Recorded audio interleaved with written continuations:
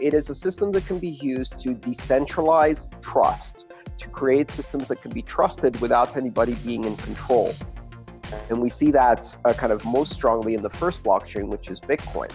These are uh, the open public systems that are borderless and neutral, censorship resistant, uh, open to all, and not controlled by anyone. And then that concept can be taken to other applications. You can use it for all kinds of financial instruments. You can also use it for trusted applications like voting or governance of corporations.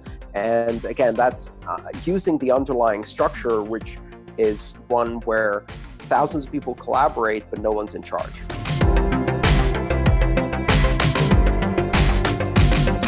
Ledger that tracks transactions and it gets compiled into blocks and the blocks are put together and it creates a chain. It's a ledger for tracking digital assets. With the internet, information turned digital. Uh, money has turned digital. Value has turned digital. Assets, you can actually own something, move it from one person to another. It can't be duplicated. That was a major breakthrough that Bitcoin brought us before Bitcoin, everything digital could be duplicated. And it gives people the ability to, to own their own assets and be in control of their lives.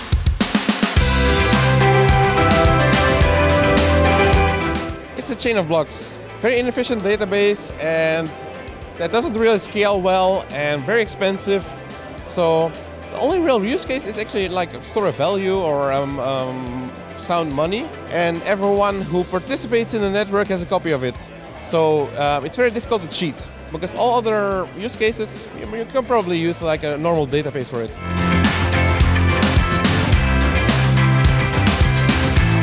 It's the world's most inefficient database. So what that means is like a normal database, you can put data into it and you can get data out. Uh, it's just horrifically inefficient. But what that buys you is you kind of have this property of censorship resistance where no one can um, change the database or alter it or censor it. OpenBazaar uses Bitcoin and other cryptocurrencies um, because of this property of censorship resistance, where we can enable people to trade directly with each other in a way that people can't intervene and prevent that transaction from taking place.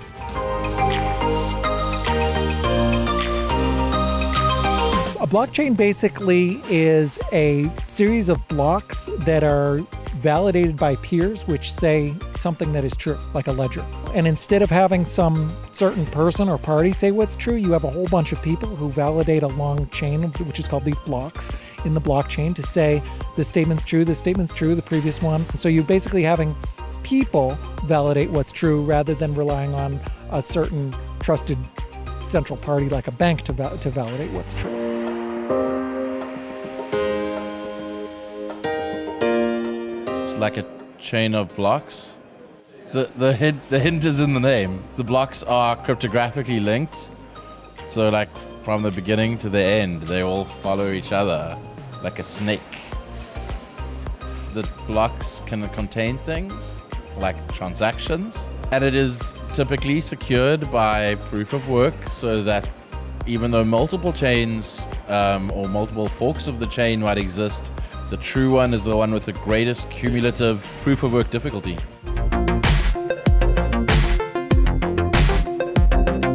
It's a worldwide ledger that's not on one single computer, it's on everybody's computer that's running a copy of that particular blockchain software.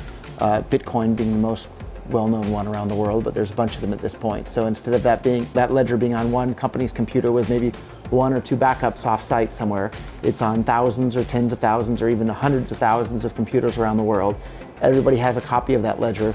No single computer is in charge of that ledger, and they all update their ledger in sync with everybody else's copy of the ledger. And because it's on everyone's computer, there's no way that anybody, any outside party can come in and, and interfere or inject, interject things into that ledger that aren't supposed to be there. All currencies really are, are kind of ledgers that keep track of who has what.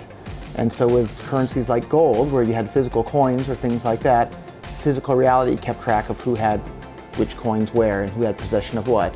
With Bitcoin, it's all digital, but there's a ledger that keeps track of who has how many Bitcoins and just like physical reality limits the amount of gold in existence here on the Earth, uh, mathematical laws limit the amount of bitcoins that are in existence on this ledger. And so then you can instantly transport them to or from anyone else anywhere in the world. That's incredibly useful as money. So when I first heard about Bitcoin, I knew, there wasn't any doubt in my mind, I knew that people were going to start using it as money. If you like my channel, please hit the like button and be sure to subscribe.